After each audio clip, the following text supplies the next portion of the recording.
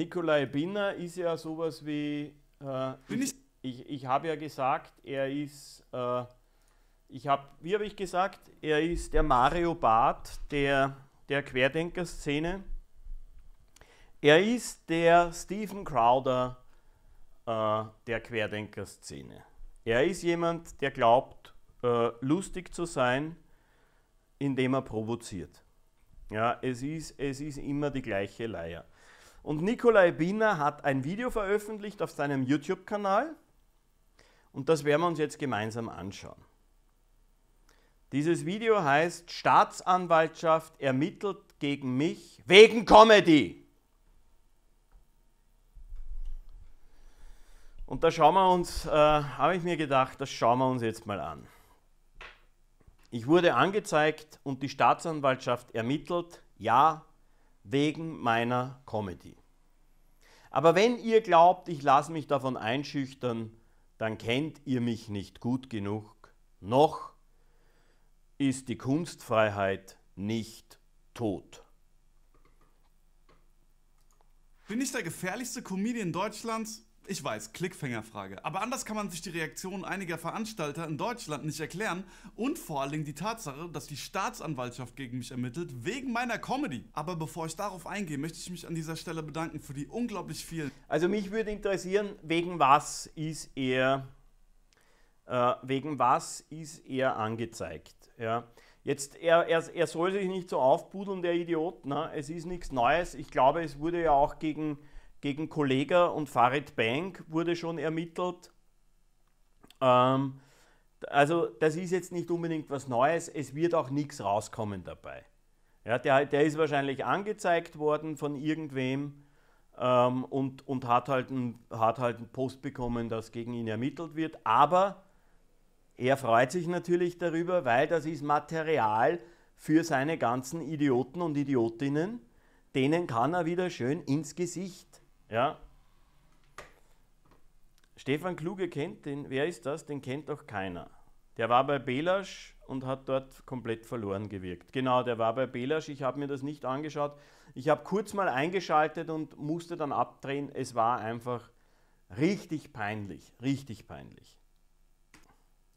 Ausverkauften Shows und auch gleichzeitig für die besten Shows, die ich jemals in meinem Leben hatte. Es war das Schönste zu sehen, wie schwarze, transsexuelle, Migranten und sogar Menschen in einem Raum saßen und sich gemeinsam kaputt lachen. Und auch, dass ich für meine Comedy angezeigt wurde, hält mich natürlich nicht davon ab, weiter Witze zu machen. Für die, die es nicht mitbekommen haben, die Staatsanwaltschaft ermittelt tatsächlich gegen mich wegen meiner Comedy. Ja, wegen was? Was hast du gesagt? Wegen deiner Comedy. Da steht sicher nicht drin, wir ermitteln gegen dich wegen deiner Comedy. Das steht sicher genauer. Das würde ich gern wissen. Aber das sagt er uns nicht. Gut, und auch, weil ich eine Frau im Park belästigt habe, aber darum sollte es nicht gehen. Kein Witz, ich habe vor Also, das ist dann lustig, ne?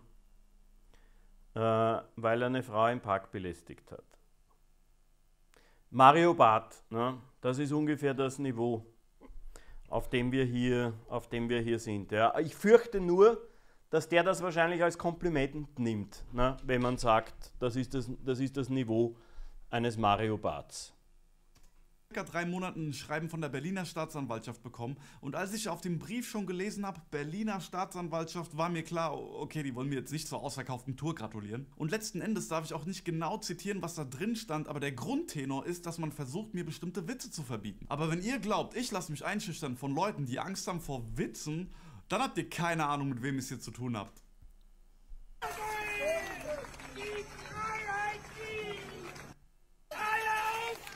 Er lässt sich von niemandem was sagen. Er lässt sich seine Comedy nicht verbieten. Er ist zwar auf YouTube seit einigen Jahren, immer und immer wieder und auf Instagram und auf allen Portalen, die es gibt, aber er lässt sich es nicht verbieten. Weil es könnte ja sein, dass es verboten wird. Richtig. Roberto Blanco. Okay. Grisi Grisou schreibt, nein, der unterschreitet das Niveau von Mario Barth. Ja, geht sich aus. Ja, ich, ähm, ja, geht sich auf jeden Fall aus. Hat echt gar keinen Sinn gemacht. Es ist wirklich nicht leicht, Veranstaltungsorte für mich zu finden. Meine Bookerin kriegt auf Location-Suche für meine Shows mehr Absagen als Typen unter 1,80 auf Dating-Apps. Ein Problem, das mir fremd ist, da ich 1,86 bin. Das ist so. Naja. Krieg immer nur Absagen, weil ich zu früh nach den Fußfotos frage. Jetzt mal im Ernst, Mädels. Wenn morgen mein Postfach bei Instagram nicht voll ist mit Fußfotos, bin ich sauer. Es ist übrigens auch für einen guten Zweck. Für jedes Fußfoto, was ihr mir zusendet, spende ich einen Lusttropfen an meine Boxershort. Okay, sorry. Oh, das ist ein Vollidiot. Uh, du, du, du, du. Ja, nicht der Frank. Soll das witzig sein? Naja, immerhin lacht er. Weißt du? Das ist, dann, da, da kennst du einen wahren Komödianten. Jemand, der am, am meisten über seine eigenen Witze lacht, ist der beste Komödiant, den es gibt. Das ist eine alte Weisheit. Okay, weiter geht's. Ich lese euch jetzt mal ein paar Begründungen vor, warum man bis jetzt meine Shows abgesagt hat. Herzlichen Dank für Ihre Nachricht. Bitte haben Sie Verständnis, dass wir die Auffassungen des Künstlers nicht teilen und uns daher keine gemeinsame Vorstellung vorstellen können. Bro, Sie können sich eine Vorstellung mit mir nicht vorstellen. Könnt ihr euch das vorstellen? Mir wurde tatsächlich auch öfter vorgeworfen, ich hätte antidemokratische Inhalte. Antidemokratisch? Ich habe mich doch ausgesprochen. Also ich, ich- mir ist der ja, mir, ich finde, der hat was, schreibt Lefty. Naja, er hat, er hat eine Visage. Schau, ich, ich, ich- wenn, wenn der gute Witze hätte, wäre er witzig. Ja, aber nur, sich nur auf das Äußere zu verlassen, ist halt zu, ist halt, ist halt zu wenig. Ja. Er, hat, er hat irgendwie so ein Gesicht. Gegen Lockdowns, gegen Ja, schon gesagt, Junge, schalt ab. Aushebelung des Wenn eine Hummel auf einer Biene steht, ist sie dann bisexuell. Auf einer Biene steht. Das ist aber wirklich gut. Noob auf dumm. Gesetzes durch das Infektionsschutzgesetz. Und ich habe mich stark gemacht für das Recht auf nachträgliche Abtreibung bis zum 20. Lebensjahr, falls der 20-jährige Fötus den Grünen beitritt. Und Das ist halt so, das ist mein Witz. Ne? Das ist eigentlich den Witz, den ich, den ich schon vor Monaten gemacht habe. Und, und er macht das am 25.07. Und dann macht das noch so beschissen, indem er sagt, wenn sie, wenn sie den Grünen beitreten. Ja? Vollidiot. Weil ich sage ja so, ich sage ja so, ich bin ja tatsächlich, ne, ich, bin ja, ich bin ja total liberal, was das, was das, ähm, was das Abtreibungsrecht betrifft. Ja. Ich, ich finde ja, es sollte gar kein Limit geben. Und, und ich bin aber da schon dafür, dass man da die, die, die äh, Entscheidung darüber sollte man den Frauen geben, beziehungsweise den Müttern. Und wenn jetzt die Mutter vom, vom Nikolai sagt, okay, wird er sein? 25 Jahre, 26 Jahre. Die Mutter vom Nikolai sagt jetzt so, Resümee, 26 Jahre, ist nicht ganz so geworden, wie ich mir das vorgestellt, habe. Äh, ich, nehme, ich, nehme Gebrauch, ich nehme Recht, ich nehme mein Recht auf Abtreibung ähm, äh, in Anspruch. Wäre ich, also denke ich mir, warum soll ich da was mitreden? Ja. Trotzdem gibt es Leute, die das antidemokratisch nennen. Aber Leute, das sind die Zeiten, in denen wir leben. Böse ist gut, Frauen sind Männer, links ist rechts, die Grünen wollen Krieg und Wandern ist jetzt eine Nazi-Aktivität. Hallo, ein solcher Auftritt Wie, wie, wie kommt man auf das mit dem Wandern? Wie, wie, kommt, man, wie, kommt man auf das, äh, wie kommt man auf das Wandern? Das Wandern recht sein soll. Ich habe das jetzt schon ein paar Mal äh, mitbekommen. Markus Haraldsson schreibt, bin gerade noch so Boomer-Generation, ist aber echt nicht meins. Ich kenne aber bestimmt Menschen, die sich kringeln würden. Ja, weiß ich nicht. für uns nicht in Frage. Diese Art des Humors können wir nicht Ja, vielleicht meint er Spaziergänge, genau. also, äh, mir ist er ja schon mal aufgefallen, der Typ. Und zwar, da hat er einen Witz gemacht. Da gab es ja diese Zeitungsente, ähm, dass in China testet man jetzt Corona über Analabstriche. Und dann ist der, der Typ halt dahergekommen und hat gesagt, als das rauskam, ist Jens Spahn gleich zweimal nach China geflogen. Und da denke ich mir so, Alter, und dann wunderst du dich, dass man dich nicht im Club haben möchte. Ja? Das ist also der plumpeste Witz, den man machen kann. Das wäre vielleicht in den 60er Jahren am Stammtisch in irgendeinem Kaff wäre das lustig gewesen. Aber, aber im Jahr 2022 ist es nicht lustig. tragen. Hallo, unsere Termine sind bis Oktober fix geplant, sodass ich Ihnen leider kein Angebot mehr für Juli oder August machen kann. Davon abgesehen ist das nicht der Humor und die Haltung, die zu uns passen. Schönes Wochenende. Sonnige Grüße. Guten Tag, wir können Ihnen bei Ihrer Anfrage nicht weiterhelfen. Ihre Programminhalte entsprechen nicht unseren Werten. Och, es entspricht halt einfach nicht Ihren Werten. Sehr geehrte Frau, hm, leider muss ich Ihnen mitteilen, dass das Programm nicht mit der Selbstverpflichtungserklärung Er war auch bei Barcode zu Gast. Okay, wundert mich nicht. Produktionshäuser, der wir uns anschließen, zu vereinbaren ist. Daher muss ich Ihnen mitteilen, dass wir Ihnen den Raum am 29.08.2022 nicht zur Verfügung stellen können. Im Anhang befindet sich die Selbstverpflichtung zur Antidiskriminierung des Bündnisses internationaler Produktionshäuser. Wir bitten um Verständnis. Schöne Grüße. Ach, es verstößt halt gegen unsere Antidiskriminierungsrichtlinien. Und Deswegen diskriminieren wir dich jetzt erstmal, du kleine Fotze. Ich meine, es würde ja Sinn machen, wenn meine Comedy tatsächlich diskriminieren würde. Ja? Aber meine Comedy diskriminiert niemanden. Äh, jetzt ist er die eingeschnappte Leberwurst. Ja.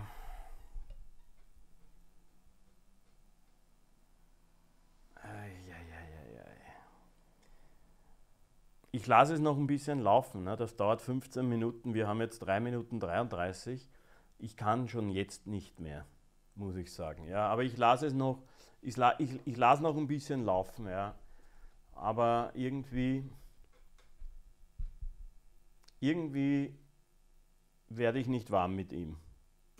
Gut, außer vielleicht äh, Schwarze, hom Homosexuelle, Migranten, Behinderte, Männer, Frauen sowie die weiteren 62 Geisteskrankheiten, LGBTQT-Mitglieder, Genderfluide, Grünwähler, Politiker, Juden, Moslems. Ich denke, die Veranstalter haben einfach nur Angst, keine Karten mich zu selbst, verkaufen. Attila Ja. Hildmann, Mormonen, Geimpfte, Mormonen-Querdenker, jüdische Mormonen-Impfquerdenker, Geimpfte, Querimpfdenker, schwarz-jüdische Transmormonen, Rothaarige, Leute mit Überbiss, Frauen mit Schuhgröße 44, Leute, die Fotos von ihrem Essen machen.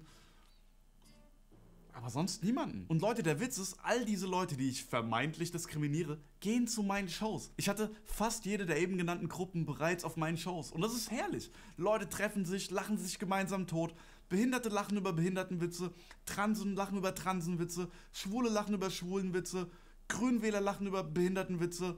Es ist einfach ein geiler Abend. Sag mir, was daran antidemokratisch ist, wenn sich Menschen zum Lachen treffen. Lass mich raten. Die Leute, die sagen, meine Comedy sei antidemokratisch, sind die, die es unterstützt haben, dass das Grundgesetz ausgehebelt wurde von Parteien, die Spe Bibelwohn schreibt, könnte man aber schon abschalten, oder? Mein Magen rebelliert schon. Ja, es kommt dann, ich, ich mache es ein bisschen schneller. Es, es kommt dann irgendwann mal was wegen Nordkorea. Ja, das, das möchte ich noch kurz anschauen, aber ich mache es auf 1 1,25. Wartital schreibt, was hat der junge Mann denn? Er macht Witze, die keiner gut findet und ist nicht witzig und wundert sich, dass ihn keiner auftreten lassen will. Mich will auch keiner Schlagzeug spielen hören, da haben mir, die haben mir bei Wacken auch schon abgesagt. Diktatur! Diktatur! Ich lasse noch ein bisschen laufen, aber schneller. erhalten haben von Pfizer. Ihr krassen Demokraten ihr. Aber lesen wir doch noch ein bisschen weiter. Guten Tag, inhaltlich sind wir mit den Darlegungen von Herr Binner nicht einverstanden. Sie werden einen anderen Saal suchen müssen. Freundliche Grüße. Guten Tag, es ist absolut unangemessen, dass Herr Binner bei Besichtigung der Event-Location auf der Darmtoilette masturbiert hat, während der deutsche Marschlieder sang. Alter, wie kleinkariert kann man sein? Und jetzt, Leute, kein Witz, wir haben diese Mail genauso bekommen. Sehr geehrte Frau Dadada, nach einem Blick auf Nikolai Binners Instagram-Account habe ich herzlich gelacht. Als queere Feministin, die ihre Pronomen in ihrer Mail-Signatur stehen hat und mit viel Überzeugung dreimal geimpft ist, muss ich Ihnen von ganzem Herzen absagen. Ich denke nicht, dass Herr Binner dass Herr Binners Programm auf unsere Bühne passt. Mit freundlichen Grüßen. Sag mal, ist es nicht irgendwie komisch, dass die ganzen Das passt ihm nicht. Ne? Da, da, ist, ist, ist das nicht Ihr Recht auch, ihn nicht einzuladen in einer Demokratie? Oder hätte er gern jemanden, äh, der, der Sie zwingt dann, dass er auftreten muss bei Ihnen? Könnte so sein, ne? die immer darüber rappen, dass sie Mütter ficken und irgendwelche Frauen verprügeln, kein Problem haben, Bühnen zu kriegen? Aber ein Comedian, der kritisiert, dass Grundrechte beschnitten werden, nicht auftreten darf? Und weiter geht's. Liebe, dadada, unser Theater steht für Toleranz und Offenheit gegenüber allen Menschen. Die Botschaften des Künstlers entsprechen nicht unseren Überzeugungen. Leider sagen wir daher ab. Mit freundlichen Grüßen. Oh, wir sind so tolerant und offen und Deswegen darfst du bei uns nicht auftreten. Der Witz ist, gegenüber welchen Menschen ich jetzt genau intolerant war, kann mir auch irgendwie nie einer sagen. Nicht einer kann genau sagen, Also, wenn du so, ich kann es dir sagen, du bist ja ein kleiner Idiot und deshalb spreche ich entsprechend zu dir. Wenn du äh, Witze machst, über Analabstriche, dass der Jens Spahn dann hinfliegt nach China und sich zweimal dann, äh, gleich zweimal nach China fliegt, bloß weil er homosexuell ist, dann ist das einfach ein scheiß Witz. Das ist nicht mal lustig. Es ist ein scheiß Witz. Und es ist eigentlich ein homophober Witz. Ja, muss, muss, man dir so, muss ich dir leider so sagen. Junge, das war vielleicht in den 60er Jahren lustig und in den 70er Jahren, aber im, im Jahr 2022 ist es nicht mehr lustig. Für viele Menschen. Ein paar gibt es, die lachen darüber. Und die sind dein Publikum. Das sind die Menschen, die glauben, dass es kein Corona gibt und dass mit der Impfung ein Genozid gemacht wird. Die lachen dann über so scheiß Witze auch. Du Idiot das Problem ist. Ich meine, das, was von mir im Internet ist, sind hauptsächlich Dinge, wo ich sage, ey, scheißegal, was dein medizinischer Status ist. Grundrechte sind Grundrechte und keine Privilegien, die man sich spritzen muss. Und scheißegal, was deine Sexualität oder deine Herkunft oder deine Hautfarbe ist. Ich mache Witze über dich genauso wie über jeden anderen auch. Das Einzige, was noch... Nee, macht er nicht. Rechte, Nazis, äh, Schwurbler und so, da macht er keine Witze im Internet zu finden ist, ist so ein Video, wo ich mich von so einer Brasilianerin anfurzen lasse. Aber darum geht es jetzt nicht. Was auch oft passiert nach wie vor, ist, dass Leute Veranstalter anschreiben und ihnen Druck machen, wie es jetzt neulich passiert ist im Fall Kassel oder im Fall Berlin oder in Freiburg oder in den 20.000 anderen Städten, wo das passiert ist. Jetzt mal im Ernst. Was für einen Mammutbaum muss man im Arsch haben, dass man Comedians und Veranstalter erpresst, damit sie einen Comedian nicht auftreten lassen? Was für eine, was für eine Falschparker aufschreibende, Lastenradfahrende, trockener als Zwiebackmuschi habende Person versucht systemkritische Comedians mundtot zu machen? Wie Adolf kann man sein? Ist es nicht faszinierend, wie einfach es war, das Volk zu spalten? Aber das Prinzip, mit dem Staaten bis heute ganze Völker unterjochen, funktioniert seit jeher bis heute. Teile und Ärsche. Das Zitat von Kurt Tucholsky über Deutschland scheint leiderhin weiterhin zeitlos zu bleiben. Ja, ja, Zoten für den Stammtisch ist sein Geschäftsmodell. Es ist halt die ganze Zeit nur, nur äh, ein, ein so ein Niveau. Ne? Es, es, ist echt, es ist echt mies, ja viel gefährlicher als derjenige, der den Schmutz macht. Aber ich verspreche euch, ich mache weiter, weil letzten Endes ist es unsere Pflicht als Menschen, auf den Schmutz hinzuweisen. Das ist das Mindeste, was wir tun können. Und ich werde so lange auf den Schmutz hinweisen, bis man in diesem Scheißland vom Boden essen kann. Und auch was die Anzeige angeht, ich mache die gleichen Jokes weiter, für die man mich angezeigt hat, weil letzten Endes geht es hier gerade um nichts Geringeres als unsere Meinungsfreiheit. Und ich weiß, Deutschland, viele von euch verwechseln das, aber mit Meinungsfreiheit ist nicht gemeint, dass ihr frei sein sollt von Meinung, sondern dass die Meinung, die ihr habt, frei sein soll. Also, schau, der Clown, äh, na, sagen wir nicht Clown zu ihm, das ist mir gegenüber unfair, weil ich sage auch manchmal, dass ich ein Clown bin. Die Witzfigur, äh, vom Prinzip, er, ist ja, er, kann, er kann ja seine Meinung sagen. Da, ich sitze hier, ich höre es mir an, deine Meinung. Das ist eine abgefuckte Scheißmeinung und ich höre es mir an und es geht mir nicht gut dabei. Und es wundert mich nicht, dass es dann Leute gibt, die dich nicht auftreten lassen in ihren Clubs. Aber das ist auch ihr gutes Recht, wenn sie der Meinung sind. Das hat nichts mit Meinungsunterdrückung äh, zu tun, du Idiot, wenn man dich nicht äh, spielen lässt in den Clubs. Laut der Allensbach-Umfrage vom letzten Jahr sagen nur noch 45% der Deutschen, dass sie ihre Meinung äußern können. 45%, das ist übrigens ein historischer Tiefstwert, seitdem die Allensbach-Umfrage gestartet wurde, im Jahr 1953. Ein beliebtes Argument, was Leute dann bringen, ist zu sagen, naja, ja, aber das ist halt so. Na, jemand möchte sagen, die Flüchtlinge, dann kommt jemand und sagt, hey, das ist aber schon irgendwie rassistisch, was du da sagst. Nö, man will meine Meinung, man unterdrückt meine Meinung. Ja. Das, das, was man nicht ertragen kann, ist der Widerspruch. Das, das ist das Problem. Den Widerspruch kann man nicht ertragen.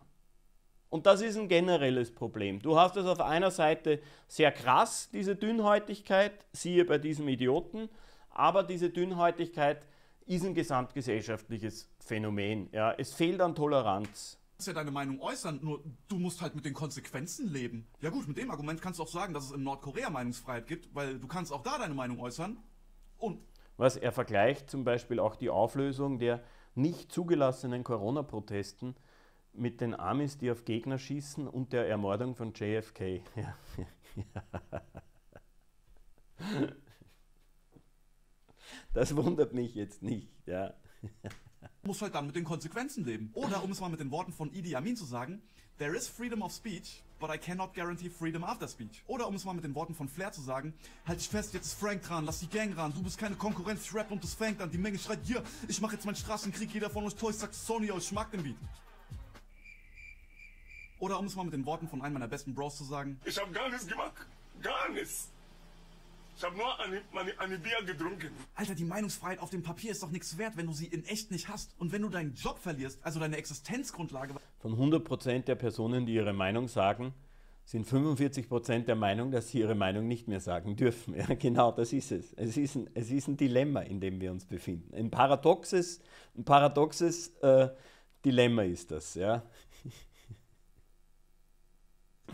Kritisch äußerst zu egal welchem Thema, dann lebst du nicht in einer freien Gesellschaft, sondern in einer freier Gesellschaft, in der Meinungsfreiheit nur noch so eine leblose Cracknote ist. Übrigens noch ein kleines Zitat aus der Umfrage. Am positivsten bewerteten Sympathisanten von Grün und Union die Lage der Meinungsfreiheit. Mann, wer hätte das gedacht, Leute? Leute, habt ihr schon gehört? Man munkelt, dass die Anhänger... Scheiße. Ach, ist das scheiße. Ach, was eine verfickte Hurenpiss, Nuttenfotzen, Rattenpiss, scheiße. Ein sehr beliebtes Argument, was Leute gegen Meinungsfreiheit anbringen, ist, dass sie sagen, naja, dein Dem Typ würde ein Energieschieß im Wald gut tun. Ja, ja, ja. ja. Dem würde ein Energieschieß gut tun. Muss nicht unbedingt im Wald sein. Ja, ich würde ihm auch auf, auf, auf der Straße, ich würde ihn auch auf der Straße auf den Kopf scheißen. das ist ja keine Meinung, sondern was du machst, das ist Hassrede. Und Hass ist keine Meinung. Ja, stimmt. Hass ist keine Meinung. Hass ist ein Gefühl. Aber wer definiert denn bitte, was Hass ist und was nicht? Guck mal, wenn eine Biologin sagt, es gibt nur bi biologisch gesehen zwei Geschlechter, dann wird das heute als Hassrede gewertet und sie darf ihren Vortrag an der Universität nicht halten. Also, sehr geehrter Idiot, den Vortrag hat sie gemacht, ja, auf der Universität. Verspätet und, auf, und abgesagt wurde der Vortrag, weil es Leute gab, die gemeint haben, sie würden dagegen protestieren. Das wurde nicht wegen Hassrede abgesagt. Du Vollidiot. Also eine grundsätzlich biologisch korrekte Aussage ist heutzutage schon Hassrede. Wenn aber Sarah Bosetti sagt, dass Ungeimpfte der Blinddarm der Gesellschaft sind und der Blinddarm ja nicht essentiell für das Überleben des Gesamtkomplexes ist, Das, das stört ihn dann. Ne? Aber ich glaube, das ist ja auch eine Komikerin, ne? die, die äh, Sarah Bonetti. Was, wenn ich, ist, ist, ist, ist sie nicht auch irgendwie so ein bisschen in, in der Comedy unterwegs? Ne? Aber das stört dich dann schon. Ne? dann ist das keine Hassrede. Halten wir doch mal fest, was hier passiert. Etliche Menschen in Deutschland haben Berufsverbot, werden massiv zensiert oder zensieren sich aus Selbstschutz. Egal ob Wissenschaftler, Künstler oder Menschen mit der krankhaften Vorliebe dafür, ihren Job zu behalten. Eine Zensur findet statt. So, die Frage ist jetzt, wie geht man damit um? Und ich sag, Maul trotzdem aufmachen, die bestehenden Strukturen, die es noch gibt, um sich zu äußern, nutzen und wenn diese dem ideologisch verblendeten Mob zum Opfer gefallen sind, wie zum Beispiel Twitter, einfach anfangen, Leute auf der Straße anzupöbeln. Vergesst Twitter. Twitter ist nichts anderes als ein primitiver Online-Dorfstammtisch, nur mit dem Unterschied, Stimmt nicht. Jeder von uns hat das Eichhörnchen gesehen. Mach die Augen auf. Es gibt ein schönes Twitter. Es gibt Eichhörnchen, die knurren auf Vögel.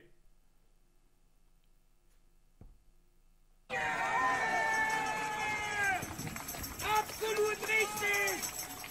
Bösartige Menschen! Ich, ich lasse mir doch nicht mein Twitter schlecht reden. Betrunkenen Typen an einem echten Dorfstammtisch wenigstens eine gute Zeit haben und danach zu ihrer Frau gehen, statt zu ihrer Person mit Uterus. Ja, Leute, Maul aufmachen und das Allerwichtigste, nicht mitmachen bei Spaltung. Und übrigens, du machst auch mit, wenn du nur zusiehst. Ein Satz, der bei Swingerpartys als faule Ausrede gilt, in dem Fall aber wirklich zutrifft. Wer nicht die Eier hat, aufzustehen für seine Freunde, seine Kollegen oder generell, wenn er sieht, dass jemandem Unrecht getan wird, der ist Mittäter. Wir haben eine Verantwortung für die Dinge, die in unser Bewusstsein treten, die in unserer unmittelbaren Umwelt passieren, weil wir sind ein Teil dieser Welt. Und mit der Einstellung nach wie die Sinnflut fixst du dich am Ende des Tages selbst, weil du, du bist ja nicht abgekoppelt von der Welt. Du bist ja ein Teil davon. Das ist kein esoterisches Konzept. Ja, aber das, um das genau geht es ja bei Corona, du Trottel. Ja, also das ist schon, weißt, da kommt er, da kommt er mit Menschheitsfamilie und dass man zusammenhalten soll und verweigert sich aber Maßnahmen, äh, die gesetzt werden wegen einer Pandemie. Aber das ist ja nur wie eine Grippe. Das ist ja, das ist ja gar nicht mehr so schlimm. Ja. Aaron vorhin im Chat, zwei Wochen im Krankenhaus, ne? mit, mit, äh, mit Sauerstoffzufuhr. Ging ihm überhaupt nicht gut. Ja. Aber das ist ja nur, das ist ja nur, das ist ja nur, das ist ja, das ist ja alles Diktatur. Wir sperren uns ein, wir leben in einer Diktatur. Logik. Du erntest, was du siehst. Wenn du für deine Mitmenschen aufstehst, werden sie irgendwann für dich aufstehen. Und wenn du deine Mitmenschen verrätst, kriegst du einen Ministerposten. Aber Leute, zurück zum Thema. Das geht jetzt an alle, die Veranstalter unter Druck setzen, Comedians erpressen oder versuchen, mich zum Sex mit Männern zu überreden. Es klappt nicht. Erstens, ich bin heterosexuell. Sorry, Boys. Zweitens, Leute wollen das, was sie nicht dürfen, erst recht. Siehe Alkohol während der Prohibition, Affären während einer Ehe, Furzen auf einem Date. Irgendwie findet man immer einen Weg. Spa Ja, von den Corona-Maßnahmen profitiert er nicht. Das ist der Stolperstein. Ja. Also konnte mir bis heute kein einziger Veranstalter, besorgter Bürger und auch kein einziger der Comedians, die mich boykottieren, erklären, was an mir recht sein soll. Nicht einer. Also, okay, er macht sich lustig, ähm, er, macht, er macht grindige Witze über Homosexuelle, er, er, er, er, geht, er basht die ganze Zeit gegen Linke, er, er, er basht die ganze Zeit gegen Grüne. Äh, also äh, lässt, lässt auf eine gewisse Gesinnung dann schließen. Ja, mu muss man schon sagen. Okay, gut, man, man hat mich mal in Berlin am Alexanderplatz gesehen, wie ich eine riesige Hakenkreuzflagge geweht habe und die Sportpalastrede vorgetragen habe. Aber an, Ja, das ist nicht mal lustig, du Trottel. Ach Gott. ansonsten hat er keiner was gesehen. Ja, Leute, das ist das Problem. Es geht nicht mehr um logische Diskurse oder darum, in irgendeiner Form das zu belegen, was man behauptet. Es geht einfach nur noch darum, andere zu diffamieren. Scheißegal, ob das, was man jemandem vorwirft, fußt in irgendeiner faktischen Realität. Hauptsache, der, der eine andere Meinung hat, ist weg vom Fenster. Aber Leute, mal abgesehen von all dem Bullshit und Gegenwind, mir geht's gut. Ich habe dieses Jahr die heftigste Comedy-Tour meines Lebens gemacht und sie ist auch noch nicht vorbei. Ja, ich muss ja noch mein Special produzieren und das auf YouTube laden. Und solange das noch nicht im Kasten ist, ist die Tour noch nicht vorbei. Also kommt zu den Shows. Die nächsten Termine sind einen Moment, ich guck mal, Einmal am 27.07. in Ulm, am 29.08.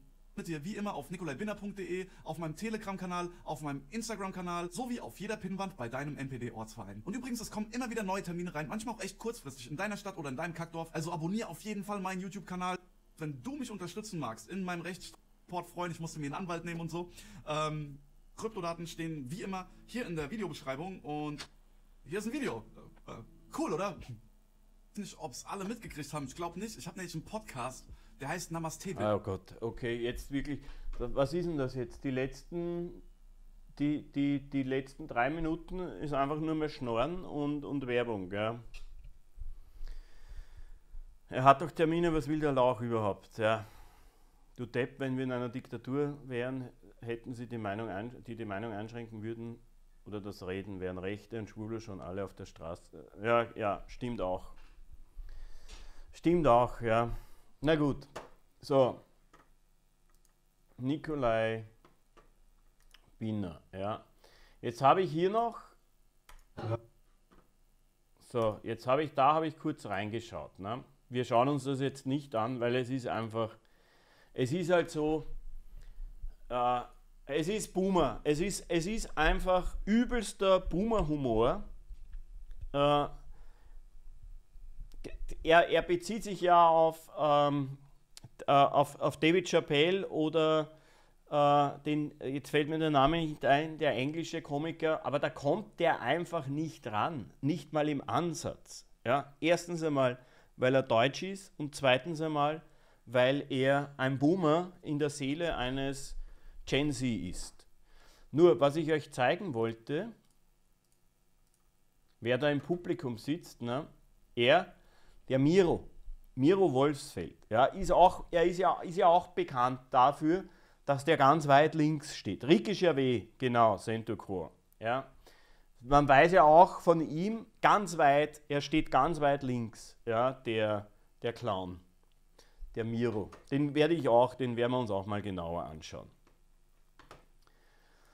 Uh, Genderfluid beim Parteitag der Grünen. Nikolai Binner, Crowdwork.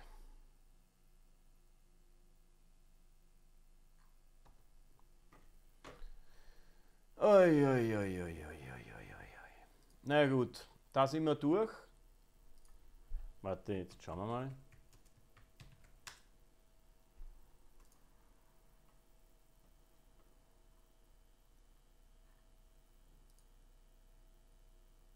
Da ist sein, ich bin gerade auf seinem Instagram. Ich bin gerade auf seinem Insta. Du, du, du. So, wo ist es? Fotos.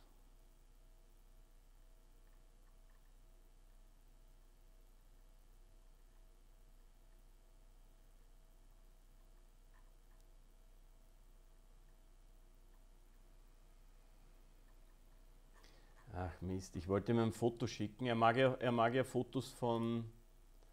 Er mag Fotos von Füßen.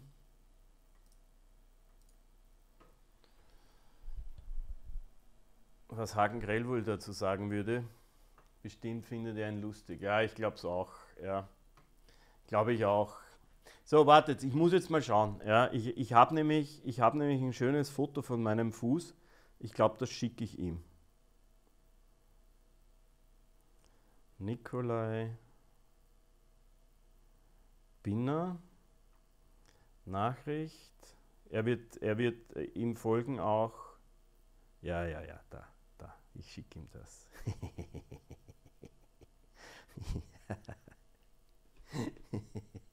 Sein größter Fan war jetzt Robert Stein. Ja. Ich, ich schau mal, ob ich euch das. Ich schau mal, ob ich euch das zeigen kann. Ja.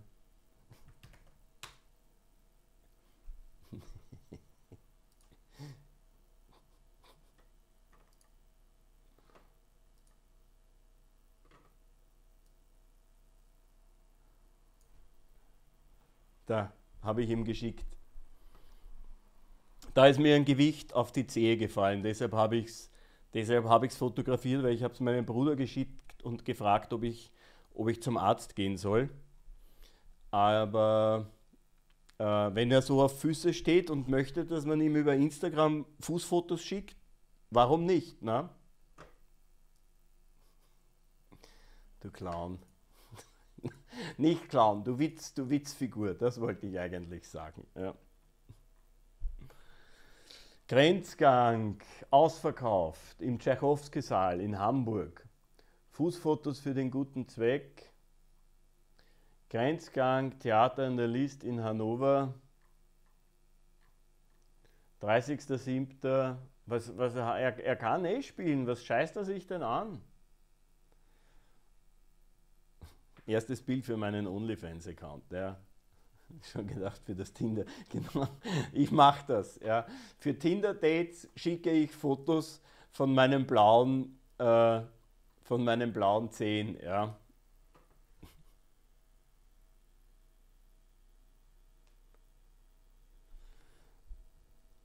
Auf meiner Zigarettenpackung ist auch ein schöner Fuß abgebildet. Ja, ja. Muss man ihm, muss man ihm auch schicken, auf jeden Fall. Ja. Gut.